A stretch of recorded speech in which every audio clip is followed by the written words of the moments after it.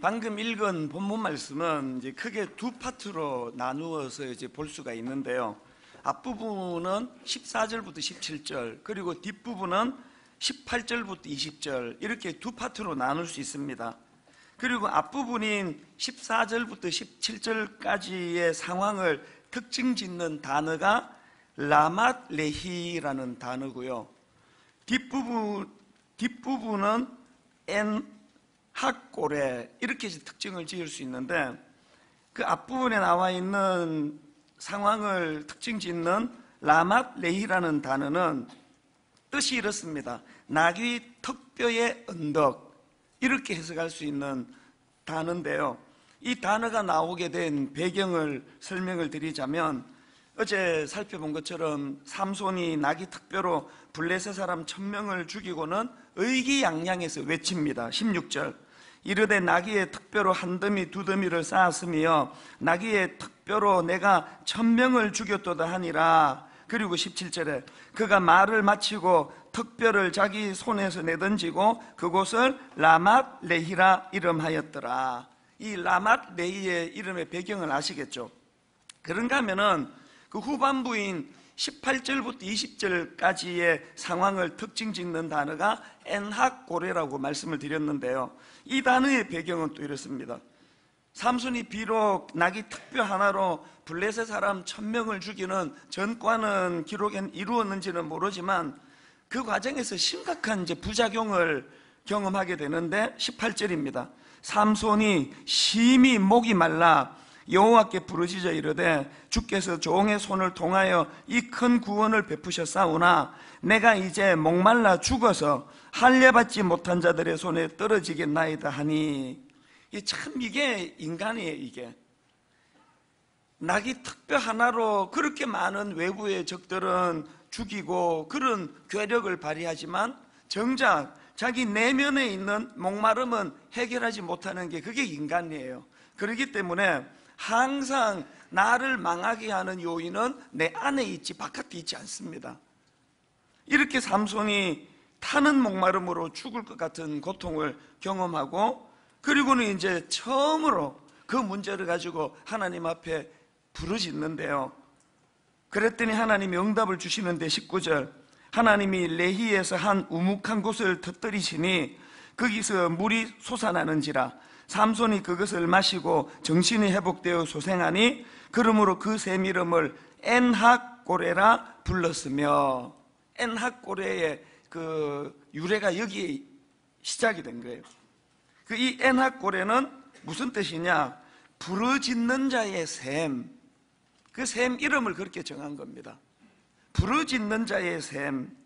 그러니까 이 라맛 레히 전반부에 나오는 라맛 레히가 주는 의미는 눈에 보이는 가시적인 승리 그리고 또 그것을 이룬 인간의 노력의 결과물에 대한 기쁨을 표현하는 것이라면 뒤에 나오는 엔학골에는 하나님 은혜에 대한 감격을 이렇게 표현한 겁니다. 이 차이예요. 저는 이번 특세가 인간 노력의 결과물을 노래하는 라맛 레히를 넘어서서 어디까지? 하나님의 은혜에 대한 감격을 표현하는 에낙고래로 그렇게 진입하는 그런 사건이 이 특세를 통해 일어나게 되기를 바라는 것입니다. 여러분 이런 변화가 왜 중요한가 하면은요. 그 낙이 낙이 특별의 언덕이라는 뜻을 가진 그 낙이 특별로 그 죽인 사람들을 이렇게 쌓아놓고 그걸 이제 그 부르는 것이 라밋 레히라고 한다면 이런 그 인간의 어떤 능력, 인간의 힘으로 이루어진 결과물, 이걸 상징하는 이 라밋 레히에만 머무르는 사람들에게 치명적인 몇 가지 특징이 있습니다. 여러분, 라밋 레히에만 머무는 사람들의 첫 번째 특징은요, 자기 공로의 틀을 벗어나지를 못한다는 거예요. 지금 이 낙이 특별 연덕이라는 뜻을 가진 라맛 레히라는 단어에 머물러 있는 이 삼손의 모습을 한번 보십시오. 16절. 이르되 나귀의 특별로 한 더미 두 더미를 쌓았으며 나귀의 특별로 내가 내가 천명을 죽였도다 하니라. 저는 이 구절을 읽는데 이 내가라는 부분이 유난히 이렇게 와, 와 닿는 겁니다. 마음에. 지금 이 16절에서 강조되는 내가 천명을 죽였도다. 이게 왜 제가 라맛 레히를 그 인간 노력의 결과물이라고 이렇게 제가 설명을 하는가 하는 이유가 여기에 있는 거예요.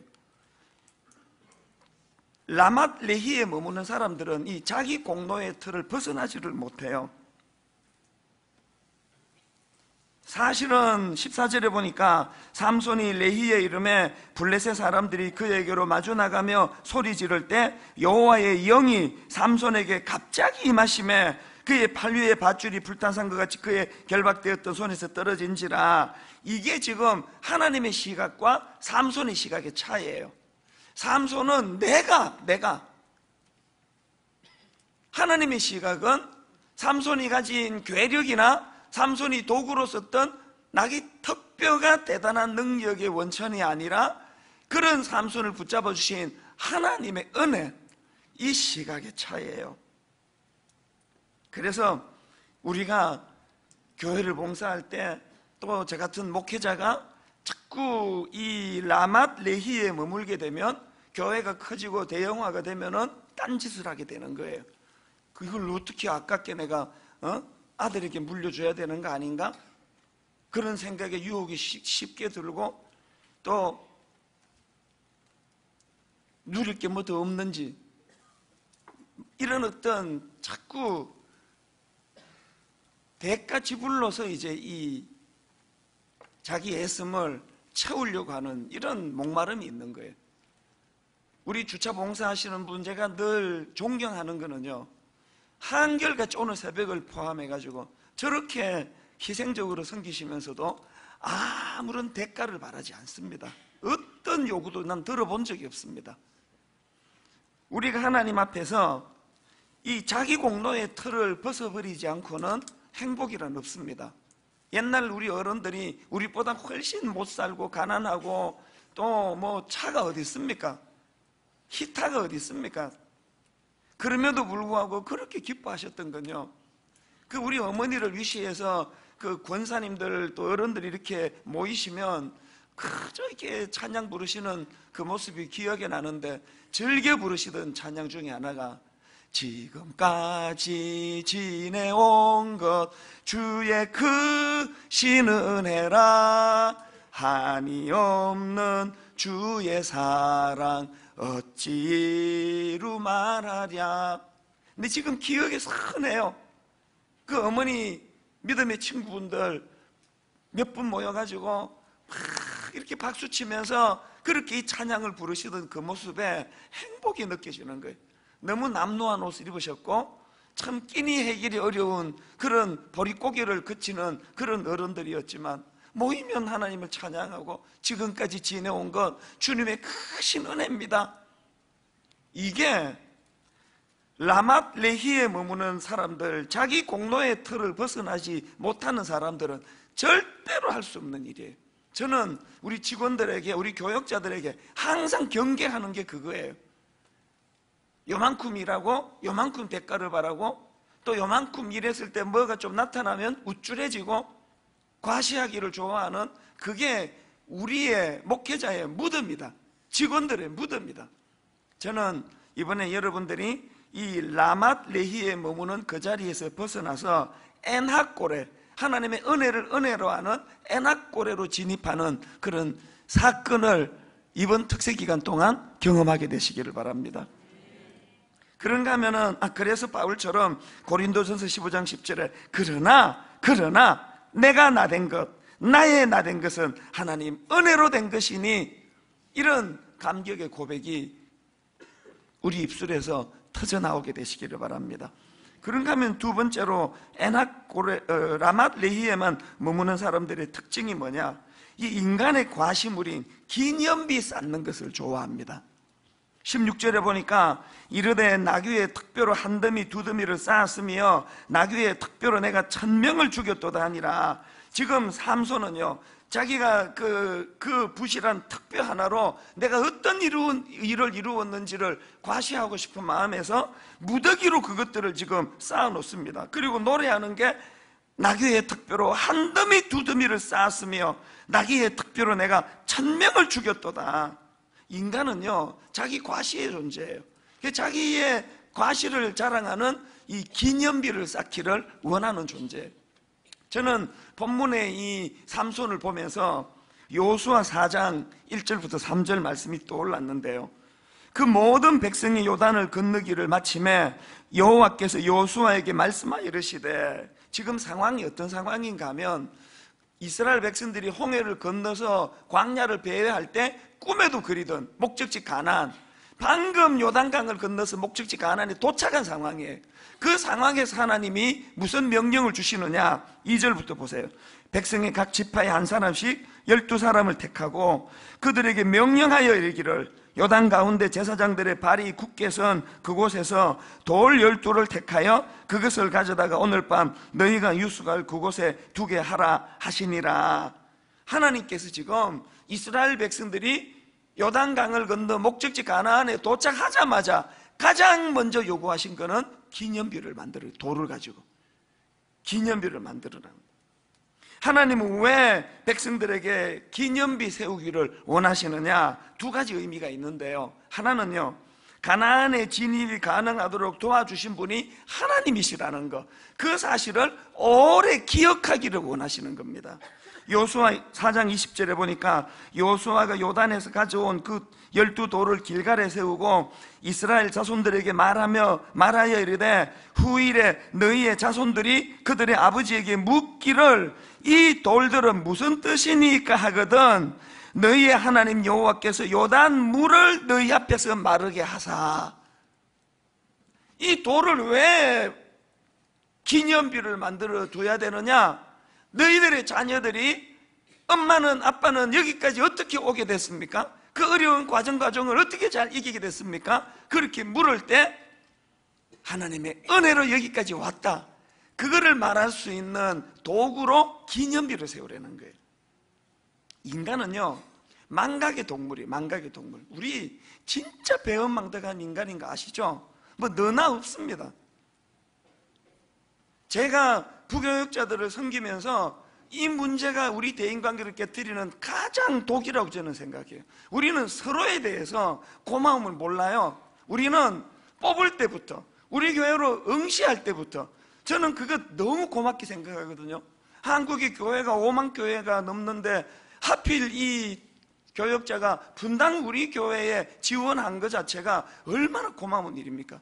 그리고 또 그 많은 지원자 중에 내가 저 사람을 선택한 거, 아, 뭐 좋은 자 뽑는 건 아닙니다만, 내가 그 사람을 선택한 거, 그거 얼마나 고마운 일이에요. 그리고 여러분, 우리 교역자와 저 사이에 피차 간에 서로 주고받는 고마운 일들이 얼마나 많습니까? 대인관계가 왜 문제인지 아십니까? 내가 해준 건 다 기억이 나요. 저렇게 성, 저 교육자가 많아도요, 내가 해준 거 다 기억이 나요. 그 교육자들이 나한테 해준 건 기억이 별로 안 나는 게 그게 인간이에요. 인간은요, 누군가에게 조금이라도 베푼 거 있으면은 막 이게 다 기억이 나는데 그 사람이 나한테 해준 거 기억이 안 나요. 제가 대학교 1학년 때, 이게 80년대 아닙니까? 대학교 1학년 때 성가대를 했거든요. 그 성가대를 하는데 그때는 이제 다 주일날 예배 시간에 헌금 주머니 이렇게 다 돌리는 그런 상황이니까요. 이 헌금 시간이 됐는데 아, 옆에 있던 그 집사님이 지갑을 안 가져왔나 봐요. 뭐, 뭐 이런 신용을 하더니 저보고 천 원만 빌려달래요. 그래서 마침 또그 없었어야 되는데 또 있어가지고 또 빌려드렸어요. 이분이 아직도 안 갚아요. 그걸 아직까지 이걸.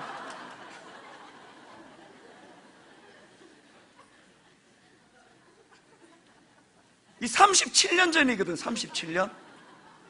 여러분, 이, 게요 37년 전에 천 원이요. 지금으로 계산하면은 이거 한 10만 원까지는 안 가겠고, 그까지는 안 가겠고, 엄청난 돈이에요, 그게. 그리고 또 이자로 한번 계산을 해보세요. 그 돈 없는 그 대학교 1학년짜리 그 천 원이면 아마 그, 그 한 달 용돈인가? 좀 과장이 심하긴 한데요. 안 갚아요. 장로 되시고 이랬는데. 근데 볼 때마다, 그분 볼 때마다 나 딴 건 안 떠올라요. 천 원. 그러나 내가 치사해서 내가 아직까지 말은 안 해요. 그분이 깨닫고 돌이켜 줄 때까지는 기다리는 거예요. 이게 지금 웃기려고 하는 이야기예요. 상징적으로요. 빌려준 자는요. 37년이 지났지만 그날의 그 자리까지 생생히 기억이 나요. 빌린 사람은 일주일만 잊어버리는 거예요. 이 상징적으로. 이게 인간이에요, 이게. 부부간에요. 가정의 회복되는 비결 딱 하나입니다. 내가 남편한테 해준 거 빨리 잊고 남편이 내게 해준 아주 사소한 거라도 오래 기억하고 서로가 부부가 그러면 가정 확 살아납니다. 고부간의 갈등 여러분이 시어머니에게 해드린 거 빨리 잊고 잊혀지고 시어머니가 여러분이 해드린 거 뼛속에 새겨가지고 늘 기억하고 그러면 고부간의 갈등 바로 해결이 돼요. 그 문제는 뭐예요? 안 잊혀지는데 어떡합니까? 안 잊혀지는데 천원 나도 잊고 싶어요 그분 볼 때 안 잊혀지는 걸 어떻게 해요? 그분이 내게 해주신 수많은 거 다 잊어버렸는데 어떡합니까? 왜 기념비가 필요하다고요? 영적으로 하나님 앞에 마찬가지예요 다 잊어버린 거 아닙니까? 하나님 여러분 어떻게 해주신 거 기억하고 계십니까? 그럼 그렇게 못 살걸요? 말로 다 할 수 없는 그 하나님 은혜를 그렇게 다 받았는데 다 까먹 다 까먹었으니까 뭐, 뭐 맨날 불평하는 거 아니고 원망하고 그 그런 거 아닙니까? 하나님이요 요수아에게 가나안에 진입하자마자 기념비를 주라는 건 이 도구를 통해서 하나님이 하셨다는 은혜를 기억하라는 거예요. 그 다음에 또 한 가지 의미가 더 있는데요. 니만 기억하는 게 아니라 너희 자녀들 교육을 위해서 이걸 쓰라는 거예요. 아까 말씀 나오지 않았습니까? 또 여호수아 4장 6절 7절에도 이것이 너희 중에 표징이 되리라 후일에 너희의 자손들이 물어 이르되 이 돌들은 무슨 뜻이냐 하거든 그들에게 이르기를 요단 물이 여호와의 언약 교회 앞에서 끊어졌나니 곧 언약 교회가 요단을 건널 때에 요단 물이 끊어졌으므로 이 돌들이 이스라엘 자손에게 영원히 기념이 되리라. 여러분 여러분 자녀들에게 이 아이가 진짜 하나님 은혜 나 태어날 때부터 나 태어나기 전에 엄마 아빠가 만나는 그 순간서부터 전적인 은혜라는 사실을 화요일을 말씀드렸잖아요. 그 아이들에게 전수를 해주지 않으니까 하나님의 은혜를 망각하는 거 아닙니까? 여러분 아이들에게 어떻게 교육하고 계세요? 우리의 호흡 하나하나가 다 하나님 은혜라는 걸 가르쳐 주기 위한 도구로 기념비를 사용하라는 거예요. 동판 그런 의미에서 진짜 중요한 기념비라고 생각합니다. 오랜 세월이 지나고 여러분 아들이 문득 엄마 이건 뭐예요? 그럴 때 너 위해서 기도하기 위하여 3시 반에 새벽에 일어나가지고 기도하던 흔적이야. 알아? 이렇게 말할 수 있는 게 동판이에요. 웃기려고 했는데 안 웃을 때 얼마나 당황되는지 아십니까? 그걸 지금 너무 진지하게 받으시기 때문에 그것도 감사합니다. 어쨌든 지금 하나님께서 기념비를 요구하세요. 그리고 또 그 사무엘상 7장 11절에 보면은 또 다른 기념비가 하나 더 나오는데요. 사무엘이 돌을 취하여 미스바와 센 사이에 세워 이르되 여호와께서 여기까지 우리를 도우셨다 하고 그 이름을 에베네셀이라 하니라. 여러분 지금까지 도우신 하나님 은혜의 감격을 가지고 기념비를 세우는 이 사무엘의 감격을 여러분 이해하시겠습니까? 오늘 여러분은 어떤 돌을 취해 가지고 마음의 기념비를 세우고 계세요? 그것만 들여다보면 눈물이 나고 그것만 들여다보면 불평이 다 사라지고 하나님이 어떤 은혜로 나를 여기까지 인도해 주셨던가? 근데 여러분 라맛 레히에 머무는 사람들이 불행이 뭐라 그랬죠? 라맛 레히에 머무는 사람들은 이렇게 하나님 은혜를 기억하기 위한 기념비를 세우는 게 아니라 자기 과시.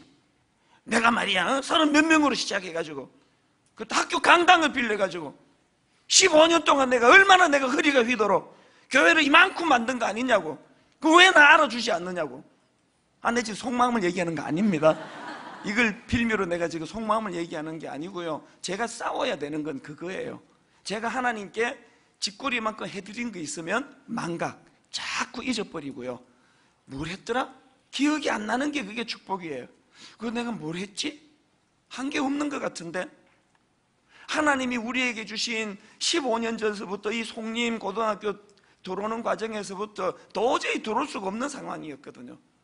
뭐 이건 뭐 거의 뭐 확률 제로라 그래 제로 분당 우리 교회 같은 서른 몇 명 모이는 개척교회가 이 송림 강당을 쓸 수 있는 확률 제로 왜? 이미 학교에다가 엄청난 공을 들이고 장학금을 주고 큰 규모 있는 교회가 이걸 빌려 쓰기로 거의 암묵적으로 의논이 다 된 상태였거든요 그 서른 몇 명 모이는 그것도 지금 42살짜리 어른 목교도 해본 적이 없는 얼굴은 서른다섯 살, 다섯 살 같은 이런 철딱선이 없는 제가 학교를 문을 두드릴 때 이게 되겠냐고요, 되대. 맨 처음에 학교 문을 두드릴 때는 잡상인 같더래, 내 꼴이. 그런데 이게 뭐 시간 없다 말씀 못 드려요. 말도 안 되는, 말도 안 되는 기적 같은 일들을 하나님 베풀어 주셔 가지고 15년 동안 오늘 이 시간까지 이 송림 학교에서 함께 이렇게 공간을 빌려 예배를 드리게 된 것부터 시작해서 하나님이 해 오신 거. 그래서 사무엘처럼 내 마음에 이 감격의 기념비 이번 특세를 통해 여러분 다 잊혀졌던 하나님의 은혜가 새록새록 기억이 나고 마음 안에 이 기념비가 복구되는 은혜가 있기를 바랍니다. 그런가 하면은 라맛 레히에만 머무는 사람의 특징이 하나 더 있습니다. 겉으로는 과시하지만 사실은 내면의 목마름의 문제를 해결하지 못하는 그런 초라한 인생이에요. 18절 삼손이 심히 목이 말라 여호와께 부르짖어 이르되 주께서 종의 손을 통하여 이 큰 구원을 베푸셨사오나 내가 이제 목말라 죽어서 할례 받지 못한 자들의 손에 떨어지겠나이다. 두 번에 걸쳐서 목마름의 심각성을 지금 토로하고 있는데 가만히 보면요 이게 우리 인생이에요 이게 뭐 저를 위시해가지고 그냥 뭐 과시하기 좋아하고 뭐 그냥 뭐 대단한 것처럼 그렇게 떠벌리고 다니지만 사실은 내면의 목마른 문제 하나도 해결하지 못하는 게 우리 아닙니까 사실? 그 뭐 아닌 것 같아도 뭐 어떻게든지 간에 자기를 좀 드러내 보겠다고 그 막 발부둥 치고 있지만 그래서 막 그냥 그 과심으로 산더미처럼 그렇게 쌓아두고 있지만 내면에는 목마름의 문제가 해결이 안 돼서 죽을 것 같은 인생이에요 그렇기 때문에 우리가 하나님 앞에서 이제 하나님 이 초라한 라맛 레히의 자리에서 벗어나서 이제 빨리 하나님 은혜를 아는 에낙골의 에낙골의 자리로 나가기를 원합니다. 우리가 깨닫고 하나님 앞으로 나가기만 하면은 하나님은 언제든지 기쁨으로 우리를 받아주시는 하나님이에요. 어제 말씀드리지 않았습니까? 여러분 우리가 기억해야 될 게요. 하나님 은혜로 나기 특별로 천명을 주기는 외적인 힘 제공하는 그것만이 은혜가 아니에요. 우린 자꾸 그것만 추구하지만 오늘 삼손을 이렇게 무기력하게 만드시는 하나님, 이렇게 갈증으로 죽을 것 같다고 토로하게 만드시는 하나님, 그 고통을 통해서, 고난을 통해서 삼손으로 하여금 다시 애낙고래로 진입하게 하시는 그것도 은혜라는 거예요. 여러분이 이렇게 일이 잘 풀리고 감사하고 감격하면 그것도 은혜고 원하지 않는 병을 만나고 아픔을 만나고 낙심을 겪을 수밖에 없는 그런 상황에 빠진다면 그것은 더 큰 은혜라는 거예요. 드디어 하나님이 나로 하여금 애낙고래로 진입하시도록 나를 흔들어 깨우시는 거구나. 저는 여러분들이 이 애낙고래의 기쁨을 그 맛보는 성도가 되기를 원하는데요. 그런 생각을 하면은 꼭 그 요한복음 2장에 나오는 한 부류의 사람들이 저는 생각이 나요. 여러분 요한복음 2장에 가나 혼인 잔치요. 예수님이 물을 포도주로 만드는 기적을 베풀어 주셔가지고 막 얼마나 많은 사람들이 행복했겠습니까? 막 벌컥벌컥 마시면서 야, 이 보통 사람들은 처음에는 그 싸구려 포도주 내놨다가 쪽, 아, 처음에는 막 비싼, 아, 처음, 처음에는 비싼 포도주를 내놨다가 약간 이게 술이 취하면 싸구려 포도주를 내놓는데 이 주인은 갈수록 향기 나는 포도주를 내놓는다고 출처도 모르면서 막 행복해 겨워하고 있을 때 하인들은요 예수님 심부름 하느라고 그 포도주 맛도 못 봤을 것 같아요 그런데 저는 이 본문에서 주목하는 게 요한복음 2장 9절이에요. 연회장은 물로 된 포도주를 맛보고도 어디서 났는지 알지 못하되 물돈 하인들은 알더라. 물돈 하인들은 알더라. 나는 이게 너무 제 안에 자리 잡힌 말씀 중에 하나예요. 대형교회 목사가 돼가지고 그 과시물 억대 연봉 수많은 혜택 고급 외제차 기사 딸린 차 이런 것들로 제가 누리면 저는 하나님의 종이 아니에요. 저는 하객에 불과해요. 하나님의 종은요 그 결과물을 누려서 행복한 사람이 아니에요. 예수 잘 믿어 부자 되고 예수 잘 믿어 병 떠나고 이래서 행복한 건 그건 하객들이고요. 주님과 동력하느라고 그 포도주 기적의 포도주 자기는 맛도 못 보지만 주님과 더불어 동력자가 된 기쁨 물돈 하인은 알더라 기적의 포도주 맛보고 즐기려는 그 자리에서 벗어나서 주님의 동력자가 된 그 기쁨을 가지고 물돈 하인은 알더라. 우리가 이 기쁨의 자리로 진입하는 특별 새벽 부흥회가 되기를 바랍니다. 그래서 우리가 하나님 앞에 이 목마름의 문제를 하나님 앞에 갖고 나갈 때 하나님은 우리에게 해갈의 기쁨을 주시는 분이시다 18절에 삼손이 심히 목이 말라 여호와께 부르짖어 이르되 그랬더니 19절에 하나님이 레히에서 한 우묵한 곳을 터뜨리시니 거기서 물이 솟아 나오는지라 삼손이 그것을 마시고 정신이 회복되어 소생하니 오늘 여러분에게 해갈의 기쁨을 성령님이 제가 주는 거 아닙니다. 설교자는 가이드밖에 하는 일이 없고 오늘 여러분 이 19절에 나와 있는 이 해갈의 기쁨 하나님이 레히에서 한 우묵한 곳을 터뜨리시니 거기서 물이 솟아나오는지라. 삼손이 그것을 마시고 정신이 회복되어 소생하니 이 19절 말씀이 여러분 삶 속에 여러분 가정 안에 그대로 이루어지기를 주님 이름으로 축복합니다. 전방위로 목마른 우리예요. 건강의 문제로 목말라하는 신음하는 성도님들 경제적인 문제로 가정의 어려움으로 전방위로 목말라하는 우리 인생에 전방위로 해갈의 기쁨을 주시는 이 19절의 하나님 그 하나님을 우리가 갈망해야 돼요. 우리가 해야 되는 건 딱 하나예요. 삼손이 해갈의 기쁨을 맛보게 된 근본적인 삼손 측에서 한것딱 하나예요. 목마름을 자각하는 거예요. 목말라 죽을 것 같아. 그래서 저는 이 말씀을 준비하는데 목마른 나의 영혼 주를 부르니 나의 맘 만져 주소서. 주님만을 원합니다. 더 원합니다. 나의 맘 만져 주소서. 여러분 안에 이런 갈증이 느껴지기 시작했다면 그건 살아나기 시작한 거예요. 편지 하나 아, 그 게시판에 올라온 글 하나 읽어드리고 오늘 말씀을 마무리하고 우리 기도하기를 원하는데요.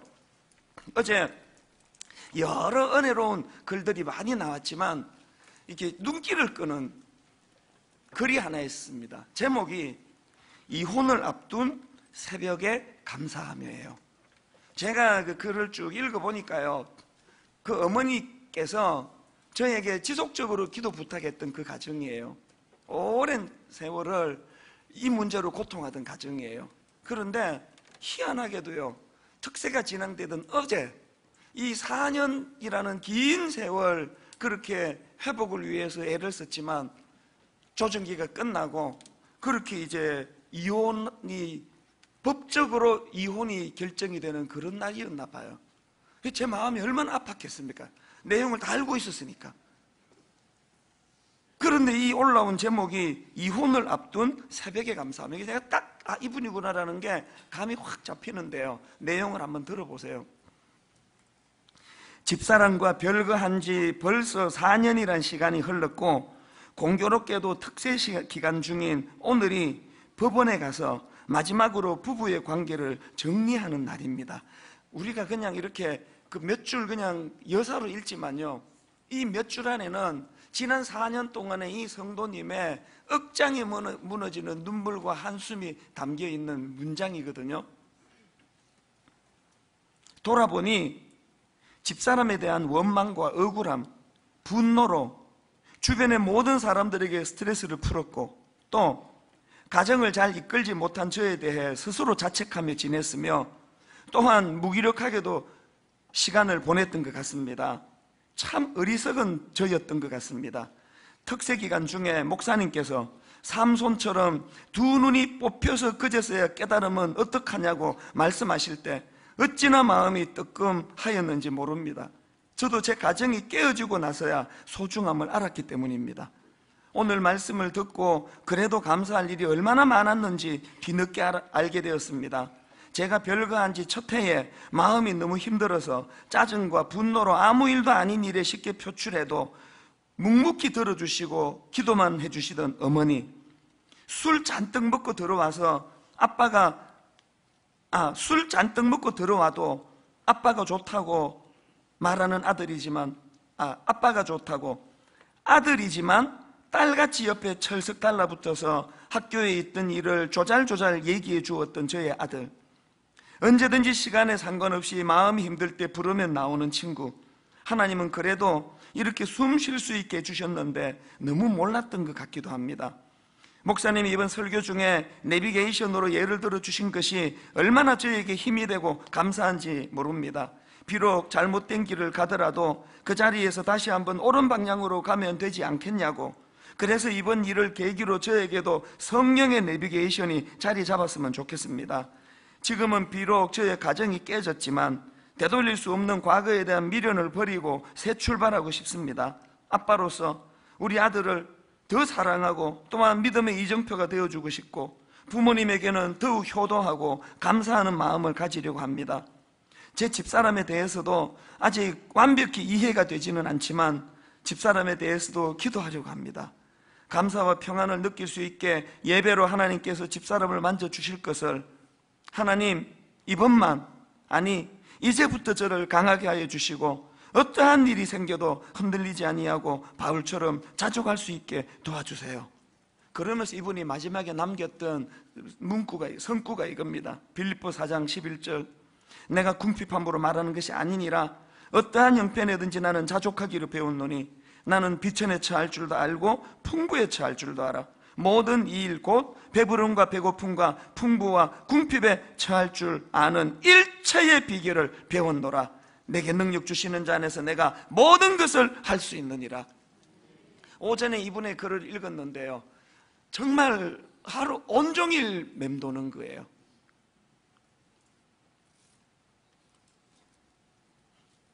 인간의 과시물을 자랑하고 자기의 업적을 쌓아놓고 있을 때는 느끼지 못했던 하나님이 내게 주셨던 하나님이 깨닫게 주셔서 드디어 회복된 감각이 목마름이거든요. 사실은 오래 전서부터 이 생수를 공급받지 못하고도 우리가 무디어졌기 때문에 영혼이 죽었기 때문에 영혼의 갈증은 느끼지 못했던 육의 갈증만 느끼고 살았던 우리지만 하나님께서는 우리로 하여금 영의 갈증을 깨닫게 해주심으로 목말라 타오르는 이 목마름을 가지고 주님 앞으로 나갈 수 있는 선한 마음을 주신 거 아니겠습니까? 이 형제님이 이제 가장 신음해야 되는 4년의 그 몸부림과 노력 속에서 결국은 가장 억장이 무너지는 결정이 나는 그날 이런 고백을 할 수 있는 이 신비 이게 하나님 은혜인 줄로 믿습니다 오늘 여러분 이 자리에 누구라서 마음에 아픔이 없고 목마름이 없는 분이 있겠습니까? 겉은 그저 눈으로 보여지는 업적과 과실을 자랑하지만 사실은 목마른 인생인데 우리가 해야 되는 것 하나님 앞에 정직해지는 것 우리가 해야 되는 것 영적인 무디어진 감각을 회복하여 목마름을 목마름으로 깨닫는 것 여기서부터 회복의 시작이 일어나는 줄 믿습니다 여러분 우리 오늘 말씀을 기억하시면서요 한번 다 일어나 보시겠습니까? 우리 이 찬양을 부르시면 좋겠습니다. 414장 나의 가장 낮은 마음. 우리 한 번씩 이 찬양을 부를 때마다 참 은혜를 받는데요. 오늘 이 시간 말씀을 기억하시면서 하나님 나의 가장 낮은 마음 주님께서 기뻐하시고 또 그 다음에 내가 지쳐 무기력할 때 바로 그때에 주님이 내게 힘이 되어 주신다면 하나님 삼손이 그렇게 비참하게 목이 말라, 말라 갈증을 느껴 죽을 것 같은 그 순간이 회복의 출발이라고 우리 믿습니다. 우리 기쁨으로 힘을 얻어서 너무 지쳐있는 금요일이지만 우리 손뼉치면서 기뻐하면서 찬양합니다.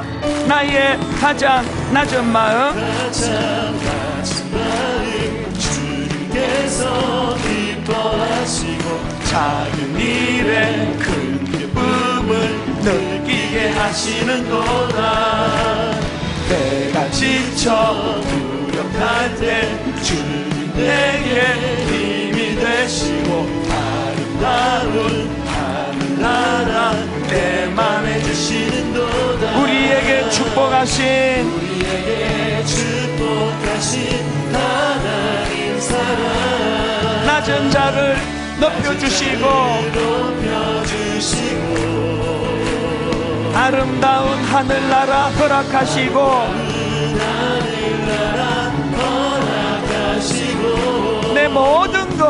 예비하시네. 이렇게 선포합니다. 찬양함의 기쁨은 내 기쁨을 감사함의 평안을 간구함의 하나님 알도록 하셨네. 나의 가장 낮은 마음. 가장 낮은 마음. 주님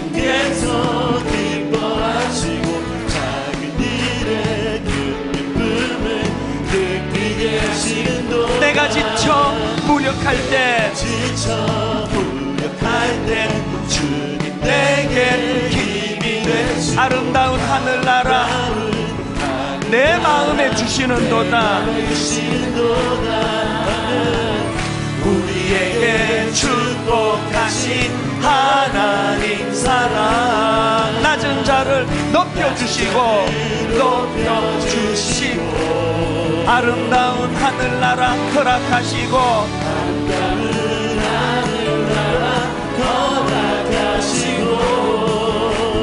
내 모든 것 예비하시네. 찬양함의 기쁨을 감사함의 평안을. 간구함의 하나님.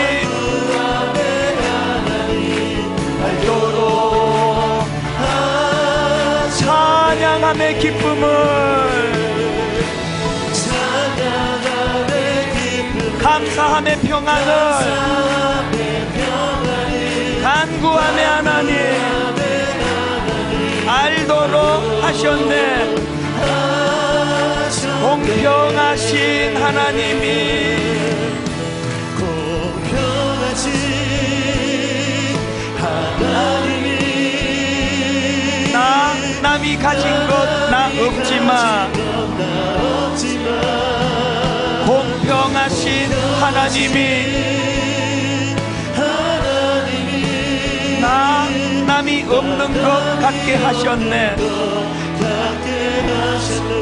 나 가진 재물 없으나 가진 재물 없으나 나 남이 가진 지식 없으나 남이 가진 지식 없으나 나 남에게 있는 건강 있지 않으나 나 남이 없는 것 있으니 우리 새벽에 이렇게 한 번 더 고백합니다. 나 가진 재물 없으나 나나 남이 가진 지식 없으나 나 남에게 있는 건강 있지 않으나 건강 있지 않으나 나 남이 없는 것 있으니 이제 한번 살펴보시겠습니까? 나 남이 못 본 것을 보았고 나 남이 듣지 못한 음성 들었고 나 남이 받지 못한 사랑 받았고 나 남이 모르는 것 깨달았네 그래서 이렇게 고백할 수 있는 거 아닙니까? 공평하신 하나님의 공평하신 하나님이 나 남이 가진 것나 없지만 공평하신 하나님이 나 남이 없는 것 같게 하셨네 여러분 이 송명희 씨 찬양 후렴 한 번 더 부르고 기도하기 전에요 이제 금요일이에요. 내일은 축제가 벌어지리라고 저는 믿는데요. 지난 닷새 동안에 우리의 기도를 한번 모아볼 필요가 있다고 생각합니다. 우리가 추구하는 거는 삼손이 가진 괴력 아닙니까? 삼손 손에 들리지 턱뼈 아닙니까? 우리가 구하는 건 늘 그런 외적인 거, 가시적인 거. 하나님 오늘 이렇게 복 받았다. 그렇게 말할 수 있는 거리들. 그런데 여러분 사실은요. 삼손의 타오르는 목마름, 삼손이 가졌던 가장 큰 축복이에요. 삼손이 가졌던 그 타오르는 목마름을 자각하고 하나님께 부르질 수 있, 있었다면 가장 큰 축복이에요. 조금 전에 4년의 진통을 겪고 결국은 법적으로 부부가 남남이 되는 이혼이라는 정말 쓰라리고 가슴 아픈 그날 이런 글을 올리며 하나님께 감사할 수 있는 것 자체는 목마름을 목마름으로 자각하는 자들만이 할 수 있는 거거든요. 여러분은 지금 어떤 글에 목마르세요? 늘 하나님 왜 괴력을 안 주십니까? 왜 턱뼈 좀 강한 걸로 좀 안 주십니까? 하나님은 우리의 아픔, 우리의 실패를 통하여, 우리의 깨어짐을 통하여. 그래서 송명이 자매는 아무것도 가진 것 없는 중증 뇌성마비라고 하는 이 가슴 아픈 결핍으로 태어났지만 이것이 송명희 자매의 영혼을 그 어떤 사람들보다도 더 아름다운 하나님 앞에 천사와 같이 흠모할 아름다움으로 인도해 주셨다고 저는 생각합니다. 우리 후렴 한 번 더 송명희 시인이 직접 쓴 가사기 때문에 더 의미가 있는 거 아니겠습니까? 우리 한 번 더 노래할 때 이 깨달음 원합니다. 공평하신 하나님이 공평하신 하나님이 나남이 가진 건나 없지만 공평하신 하나님이 하나님이 나 남이 없는 것 같게 하셨네. 다시 한번 선포하기 원합니다. 공평하신 편하신 공평하신 하나님이 나 남이 가진 것나 없지만 공평하신 편하신 하나님이 하나님이 나 남이 없는 것 같게 하셨네. 없는 것 같게 하셨네 오늘은 여러분 이렇게 한번 기도해 보시겠습니까? 억지같이 들릴지 모르지만요. 나 남에게 없는 것 가지고 한번 감사해 보시겠습니까? 하나님 저는요 물질적으로도 어려워가지고요 너무너무 힘든데 이것 가지고 내가 감사할 자, 자, 거리를 한번 찾아보기를 원합니다. 건강을 다치신 분, 암을 만나서 지금 투병하고 계시는 분들이 그것 때문에 감사할 수 있는 거리가 있는지 그래서 오늘 한번 억지로 일부러 저도 지금 너무 지치거든요 목소리도 갈라지고 그러나 한번 의도적으로 내 체력을 뛰어넘으며 힘을 얻어서 큰 소리로 부르짖어 기도하기 원하는데 오늘 우리가 한번 지난 4일 동안 못했던 기도 나 남이 어, 아, 내게 없는 것 남에게는 있는데 내게 없는 것 가지고 한번 기도하기 원합니다. 하나님 저는 이게 없습니다. 그래서 너무너무 힘듭니다. 하나님 난 이걸 원하는데 아까 그 형제님 같으면 4년 동안 나는 가정이 회복되기를 원하는데 결국은 깨져버렸습니다. 이제 하나님 깨어져 버린 가정을 갖고 내가 이렇게 감사하기를 원합니다. 그렇게 글을 올렸던 것처럼 남에게는 있는데 내게 없는 것 내 열등감을 만들었던 도구 날 이렇게 초라하게 만들었던 도구 이거를 끄집어내서 한번 감사로 승화시켜 올려드리기 원합니다. 여러분 저를 따라 더 큰 소리로 한번 이렇게 선포하면 좋겠습니다. 주여 은혜를 주옵소서. 주여 은혜 주옵소서 주여 은혜를 주옵소서. 주여 은혜 주옵소서 주여 기도의 문을 열어 주옵소서. 주여 기도의 문을 열어 주옵소서 주여 기도의 문을 열어 주옵소서. 주여 기도의 문을 열어 주옵소서 하나님 우리가 남에게는 있는데, 없는 것 가지고 기도하기 원합니다. 우리 주님 이름 세 번 부르고 부르짖어 기도하기 원합니다. 기도합니다. 주여! 주여!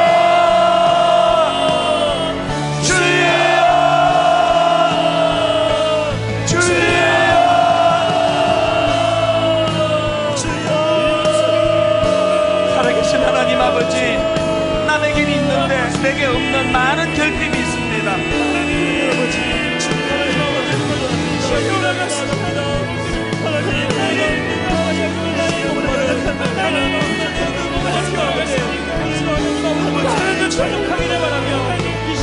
남에게 있는데 다 가지고 있는데. 왜 나에게만 이게 없느냐고. 왜 나만 맨날 이렇게 살아야만 되느냐고. 하나님께 이렇게 원망하고 불평했던 그 재료들이 오히려 오늘은 이 목마름이 해난 고래로 나아가는 도구가 되므로 말미암아 아 이것이 진정한 감사였구나 하나님 그렇게 말하시고 영안을 열어주시거나 그 은혜의 길로 인도하여 주시거나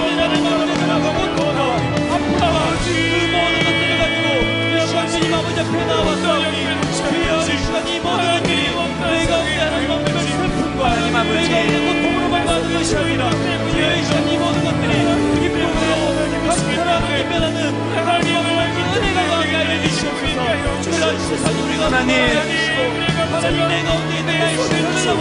또 하나도 중요한 것이 하나님께서 주신 성당을 내가 앞으로 필요하십니다.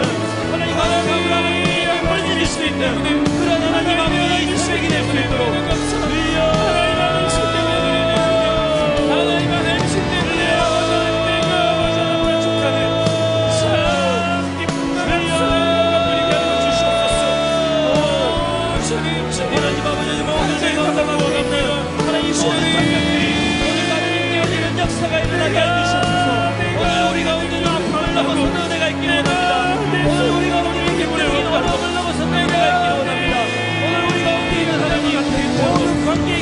하나님 넘어설 수 있는 오늘 주님 아버지 허락하여 주시옵소서 오늘 무엇이 나를 하나님 막고 있고 오늘 무엇이 나를 하나님 아버지를 물고 있다면 주여 그 모든 것을 이기신 예수의 이름을 하나님 우리가 오늘 선포해 나갈 때 우리가 오늘 모든 것 하나님 아버지의 엉뚱한 때에 우리 아버지는 능력의 영혼아가 하나님 생각할 수 있도록 주님이 시간을 이루고 계시옵소서. 여러분 자리에 앉으시고요. 이 시간에 한번 조용히 눈을 감고 내게 없는 것 때문에 남들은 있는데 내게 없는 것 때문에 원망하고 불평했던 그 순간들 그리고 항목들을 이 시간 한번 떠올리며 직시해 보세요 이따가 이제 죽게 가까이 날 이끄소서 간절히 주님만을 원합니다. 목마른 나의 영혼 주를 부, 부르, 어, 부르니 나의만 만져주소서 이, 이 찬양을 부를 거거든요. 그런데 우리가 어디에 목마른지를 정확하게 정리하고 부르짖어야 된다는 이야기. 우리가 그동안 목말랐던 건 왜 삼손의 손에 들린 그 낙이 턱뼈가 내게는 없느냐는 거였거든요. 우리의 목마름은 그거였거든요. 왜 하나님 왜 삼손에게 있는 괴력이 난 내게는 없습니까?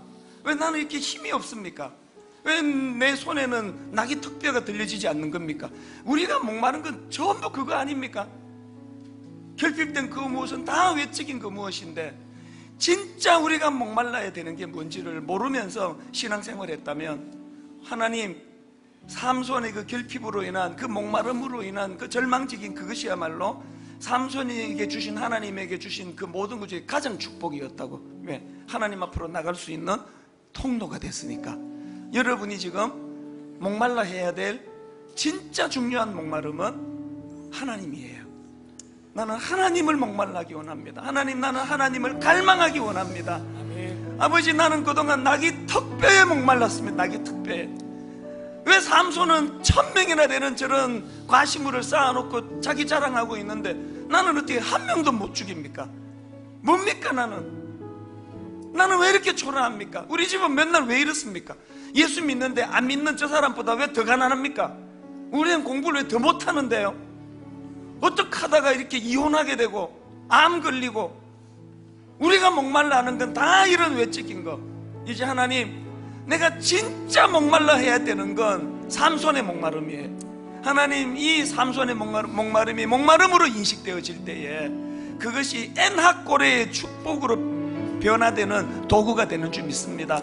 오늘 여러분 이 마음을 가지고 내 목마름의 정확한 무엇에 목말라야 될지를 가지고 이 찬양 부를 때 여러분 눈을 감고 십자가 주님을 바라보셔도 되고요. 하나님 앞에 우리가 이 마음을 가지고 한번 갈망하면서 찬양합니다. 죽게 가오니 죽게 가오니 주께 가까이 날 이끄소서 간절히 주님만을 원합니다. 채워 주소서 주의 사랑을 진정한 찬양 드릴 수 있도록 다시 한번 고백하십니다. 죽게 가까이 주께 날 이끄소서 간절히 주님만을 원합니다. 주님만을 원합니다 채워 주소서 채워 주소서 주의 사랑을 진정한 찬양 드릴 수 있도록 우리의 목마름을 하나님 앞에 토해놓기 원합니다. 목마른 나의 영혼 주를 부르니 나의 마음 만져주소서 주님만을 원합니다. 더 원합니다. 마음 만져주소서. 목마른 나의 영혼. 주를 부르니 나의 마음 만져주소서. 주님만을 원합니다. 더 원합니다. 나의 마음 만져주소서 오 주님 채우소서. 나의 잔을 높이 듭니다. 하늘 양식 내게 채워주소서. 넘치도록 채워 우물가의 여인처럼 난 구했네. 뭘 구했습니까? 헛되고 헛된 것들을.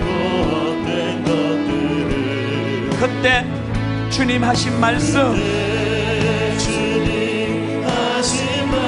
내 세매와 생수를 마셔라.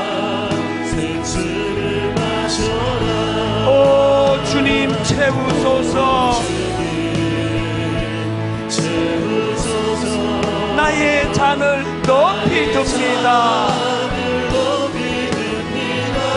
하늘 양식 내게 채워주소서. 넘치도록 채워주소서. 우리 다 자리에서 일어나셔서 많고 많은 사람들이 찾았었네. 뭘요? 헛되고 헛된 것들은 주 안에 감추인 보배. 세상 끝과 난 비길 수 없네. 오 주님 채우소서. 나의 잔을 높이 듭니다. 하늘 양식 내게 채워주소서. 넘치도록 채워주소서. 온 전심을 다하여 갈망합니다. 오 주님 채우소서.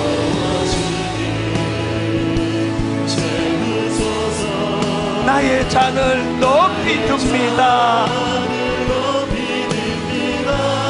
하늘 양식 내게 채워주소서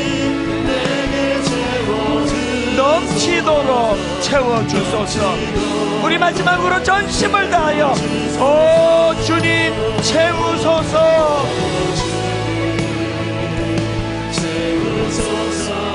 나의 잔을 높이 듭니다. 하늘 양식 내게 채워주소서. 넘치도록 채워주소서